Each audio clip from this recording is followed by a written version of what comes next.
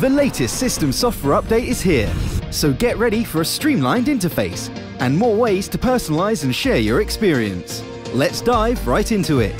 This is a Content Clam news update where we bring you the latest video game news in a minute or less. I'm Cameron Phillips. Let's put a minute on the clock. We already knew Sony was working on the next major PS4 update, and now it's been released to the masses. PS4 4.0 adds and changes several features, including HDR support for all PS4s, not just the PS4 Slim and PS4 Pro. The addition of folders to manage your games and apps has been asked for numerous times from fans, and has finally been added.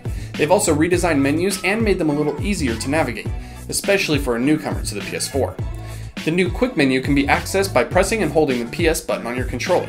You can customize the Quick menu so only what you need to use will be on it. You can also stream to Twitch, YouTube, and Daily Motion in 60 frames per second, if you're willing to deal with your broadcast being in 720.